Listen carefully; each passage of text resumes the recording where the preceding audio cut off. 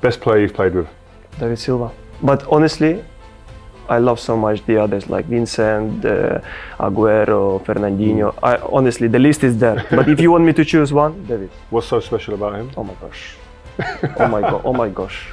I never seen Yeah? this in my life. I'm so lucky that I played a bit with him and Leroy on the left, uh, on left, the left side. You give David any ball on, on here, here, here. His first touch always will be right. We played against him many Yeah. times. Always right touch. He's not super fast player, but he's always in front of his opponent because Mm. he's always in the right position.